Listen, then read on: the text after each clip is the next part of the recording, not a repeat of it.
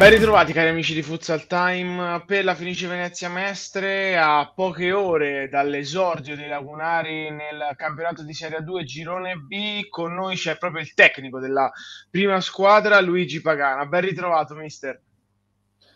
Grazie mille dell'invito ben trovato a tutti. Mister la prima cosa che le chiedo è innanzitutto quelle che sono le sensazioni per l'inizio di una nuova stagione di un nuovo campionato e come è andato il precampionato, la preparazione e le varie amichevoli che i ragazzi hanno disputato per avvicinarsi alla gara contro l'Altamarca? Abbiamo fatto un buon precampionato dal punto di vista dell'impegno del, um, e della gestione degli allenamenti, siamo andati via abbastanza bene. I ragazzi si sono impegnati tantissimo, l'intensità in allenamento è stata veramente elevata. E le amichevoli, diciamo, abbiamo iniziato bene, poi abbiamo avuto una flessione, ma secondo me normale, visto che ne abbiamo fatte tante di amichevoli e quindi mentalmente non siamo riusciti magari a tenere sempre la stessa intensità delle prime partite. Però diciamo che più o meno abbiamo tenuto. Eh, abbiamo perso una partita col Pordenone in amichevole, ma con una buona prestazione loro, ma comunque noi abbiamo avuto tante occasioni, fisicamente l'abbiamo retta bene, forse anche meglio di loro, siamo riusciti a, ad andare, insomma, anche in quella partita lì abbiamo prodotto, poi non siamo riusciti a finalizzare bene. Ehm, sicuramente ci sono state partite più o meno valide, però diciamo che mh, strutturalmente la squadra mi è sembrata abbastanza, abbastanza forte eh, dopo ci sono prestazioni migliori e peggiori, però il precampionato sono contento del precampionato. Penso che la squadra ci sia, forse numericamente non siamo tanto ampi, però qualitativamente abbiamo, abbiamo qualcosa in più dell'altro anno. Eh, purtroppo eh, si è concluso questo precampionato con, con qualche piccolo infortunio e quindi dovremo affrontare la prima con qualche assenza, però siamo pronti a dare battaglia. La prima è subito contro un avversario molto interessante che è l'Alta Marca, una neopromossa ma che comunque può, può, schierare comunque, se andiamo a vedere la rosa, due quintetti più uno quasi a livello di rotazione l'Alta Marca. Come pensa di, di, arrivare comunque a questa gara e come ha preparato la sfida all'Alta Marca, il primo derby veneto della stagione? Ma eh, guarda, le, le prime di campionato più o meno si assomigliano tante volte, cioè molto spesso si assomigliano perché mh, c'è una, gro- una, grande voglia di iniziare, la squadra di solito risponde sem- quasi sempre bene sulla prima di campionato, nel senso mentalmente, fisicamente diciamo che ci arrivi dopo una preparazione che sicuramente non ti dà il massimo sulla prestazione, però dal punto di vista fisico sicuramente diciamo siamo preparati, anche perché abbiamo iniziato per tempo quest'anno, quindi abbiamo tutto, avuto tutto il modo di, di, di arrivare fisicamente preparati. È ovvio che l'impatto si vede solo quando si inizia, quindi tatticamente abbiamo fatto la partita che ritenevamo più giusta, preparare, abbiamo preparato la partita che, che ritenevamo più giusta vista la situazione. E, vediamo, aspettiamo e vediamo. Di sicuro non, non, non andremo là senza armi, ecco. Noi ci giocheremo la nostra partita come al solito. Le prime gare sono sempre molto intense, secondo me. Sono d'accordo con lei sul fatto che comunque senza armi non ci si presenta mai, ma che comunque secondo me il girone di quest'anno, forse di più ancora che negli altri anni, consente di andare veramente su tutti i campi a giocarsela, a fare bene perché c'è un equilibrio, eh, c'è qualche squadra un po' più pronta anche a livello di roster, ma c'è tanto equilibrio all'interno di questo girone dove sicuramente andare a fare punti non sarà mai facile. Mm, è d'accordo con me, mister?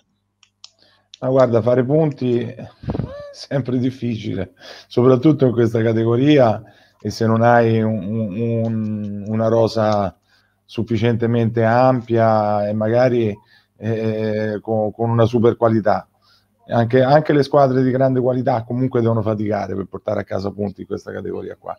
Quindi la difficoltà c'è sempre, più o meno. Quest'anno, per quanto riguarda il girone, mi sembra che sia abbastanza equilibrato. mi dà l'impressione sia un girone abbastanza equilibrato, con delle punte notevoli, perché ci sono un paio di squadre che sicuramente hanno nel roster almeno qualcosina in più. Eh, e secondo me quelle saranno le squadre che si giocheranno la vittoria del, del girone. E per il resto vedremo. Per il resto dipende tanto da, dagli equilibri che si creano, da, da come va la stagione. Eh, la fortuna anche alle volte un pochino incide perché nei momenti cruciali magari succedono quelle piccole cose che poi determinano l'andamento de- di una stagione, sai. Quindi lì bisogna iniziare a vedere per il resto. E lei che cosa si aspetta dai suoi ragazzi quest'anno? Sicuramente la terza stagione di A2, la Fenice Venezia Mestre, è arrivata sempre più pronta. L'anno scorso ancora di più dell'anno prima. Quest'anno lei che cosa si aspetta? Anche senza parlare di classifica, posizioni, obiettivi, se c'è qualcosa che lei si aspetta di vedere dai suoi ragazzi. Eh, guarda, io mi aspetto mm, l'ennesimo scalino di crescita e l'ho visto già questo scalino perché ti dico in preparazione l'intensità che abbiamo tenuto è stata veramente altissima. Anche i ragazzi nuovi si sono inseriti benissimo, hanno portato, non, non hanno portato un rallentamento, anzi hanno portato un incremento. E, ehm, quello che mi aspetto, oltre, da, oltre a quello che mi aspetto da ragazzi più grandi, devo dire che mi aspetto qualcosa anche da ragazzi più giovani, perché noi abbiamo fatto la scelta di tenere la rosa magari proprio numericamente giusta per avere la possibilità di inserire ragazzi più giovani e da loro mi, mi devo aspettare tanto perché il progetto nostro presuppone che ogni anno noi si riesca ad inserire qualcosina di ragazzi giovani e quindi quello che veramente mi aspetto è che, che questi ragazzi rispondano presente e che diano quel, quell'apporto che noi ci aspettiamo. Ecco che poi è, è, è la nostra linfa vitale, insomma, quindi... Eh sì, un progetto comunque decennale, quello della Fenice Venezia Mestre, che punta proprio su questa cosa qui, no? Ma quest'anno sono stati presi dei profili nuovi, mister. Sicuramente sia dal punto di vista qualitativo sono stati scelti, ma anche con una certa esperienza, secondo me, per, proprio per aiutare questi ragazzi che si inseriscono, i nuovi, i giovani. Ecco, su questi tre profili nuovi, quindi su, su Della Valle, su Belleboni e su Daga, che cosa mi dice? Come si sono inseriti, come li ha trovati e come l'ambiente finisce Venezia Mestre ha, ha risposto a, a una cosa che non è così consueta dalle vostre parti? Allora, partiamo dalla società. La società è stata per ora impeccabile, nel senso che ha fatto tutti i passaggi necessari, e non credo che ci siano stati neanche il minimo dei problemi con i ragazzi, quindi da questo punto di vista l'inserimento è andato abbastanza bene. Eh, per quanto riguarda la rosa, noi l'abbiamo presi per incrementare la qualità a seconda della caratteristica di ognuno di loro. E secondo me hanno incrementato non solo la qualità, ma anche l'intensità dell'allenamento, perché mentalmente sono ragazzi al quale piace allenarsi e questo per noi è importante perché l'esempio sai che trascina. Eh, quindi avere ragazzi che vengono da fuori e che, e che, hanno voglia di allenarsi quanto e più di quelli nostri, ovviamente ha aiutato tutto il gruppo a fare un, un po' un, quel saltino di qualità. Per quanto riguarda l'apporto a ragazzi giovani, ecco, io nell'esempio credo tanto. Quindi per ora l'esempio è stato ottimale, nel senso che si sono sempre ehm, espressi con, con, una grande determinazione, con una grande presenza agli allenamenti e questo per me è quello che, che interessa. Per tutto il resto, ragazzi giovani ovviamente devono vedere come, come, come, come si gioca il campionato in generale, non solo gli esempi interni. Ecco. Quello, quello che mi interessava di più era proprio la mentalità, salire di livello ancora un attimino come mentalità. E, e secondo me questo, in questo sono stati molto utili. Sicuramente fino adesso ma sono sicuro che anche per il futuro Mister, con il DS Menegel ne parlavamo in una delle ultime interviste che abbiamo fatto, che comunque man mano che si sale di categoria, inserire eh, numericamente i giovani, proprio inserire più giovani diventa eh, complicato inserirne X in A2 rispetto ad una serie B ad una serie C1. Lei è d'accordo con me se dico che la grande differenza che un giovane trova nell'inserirsi in A2 è nel dover scegliere prima, nel dover far prima una determinata lettura con una velocità di pensiero maggiore? Sì, a parte il discorso della lettura, che quello è una questione di campo, ma ancora prima c'è l'obiettivo che deve essere forte. Cioè, se mentalmente il ragazzo non ha quella grande mentalità di voler arrivare, anche se tecnicamente fa le scelte giuste, ma poi dopo la testa non regge e si salta prima da arrivare a questo. Quindi secondo me prima di tutto bisogna vedere quale e quanto obiettivo ha un ragazzo nel voler arrivare a questi livelli. E dopo nel giocare sul campo, ovviamente, quello, quello che interessa eh, sono soprattutto le scelte, eh, perché poi di sicuro c'è un discorso di fisicità, di sicuro c'è un discorso di conoscenza tattica, ma, ma la scelta fa sempre la differenza poi alla fine. Mister, una, una, delle ultime domande che le voglio fare in questa intervista. Lei ha affrontato i massimi eh, campionati del futsal italiano in tre decenni diversi, no?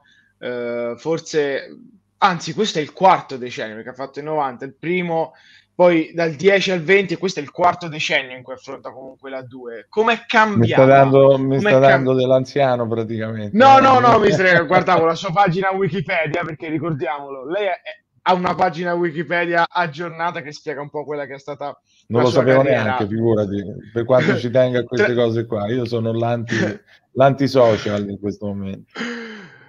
Mister Trapisa, Cesena, Arzignano, San Giorgio, Venezia, il primo Venezia, com'è cambiata questa categoria? Ma cambia di continuo, cioè non, non si può pensare di fare l'allenatore mantenendo le stesse idee nel tempo, cioè bisogna saper essere duttili quando si fa questo, questo ruolo qua, bisogna essere tanto duttili perché questo mondo qua è un mondo in grande evoluzione perché voglio dire, siamo, siamo ancora in una fase in cui non c'è professionismo, a, a, a fatica c'è professionalità in certe, in certe figure. Quindi figuriamoci se siamo arrivati a, al punto in cui non si deve essere duttili eh, o si, deve, si, devono avere delle idee standardizzate che valgono negli anni. Nel tempo si cambia sempre, ma in tutto non è che non sono in questo sport qua. Bisogna essere sempre molto elastici e, e saper prendere i cambiamenti e anticiparli tante volte è importante. Eh, diciamo che è cambiato tanto questo sport qua da quando ho iniziato adesso. Sono cambiato io, è cambiato lo sport, sono cambiati gli interpreti, i giocatori, sono cambiate tante cose, insomma. Eh, quello che non cambia alla fine è l'aspetto mentale. L'aspetto mentale deve essere sempre quello, cioè come, come si approccia, come, come, si vive la manifestazione, tutta quella parte lì quella non cambia, quella non cambierà mai secondo me. Eh, quello è, secondo me, chi capisce come gestire quell'aspetto lì ha sempre un grande vantaggio sugli altri, perché tante volte sì, la tattica è importante, la tecnica assolutamente, però i giocatori si leggono soprattutto dalla mentalità alla fine perché si può essere anche molto più scarsi di altri, ma avere un rendimento molto più elevato se la testa è forte, se la mentalità è forte. Quindi dopo è il saper gestire queste personalità, questi caratteri, queste cose qui che fa tanto la differenza in questo sport. Non è soltanto la conoscenza tattica. E io quando ho iniziato pensavo molto di più all'aspetto tattico e all'aspetto tecnico che al resto, quindi Già questo è un grande cambiamento. Ecco, il saper leggere le situazioni, il saper leggere le persone, il saper eh, gestire tutto quanto in modo che ci sia equilibrio, è questo che fa la differenza poi, vera, vera.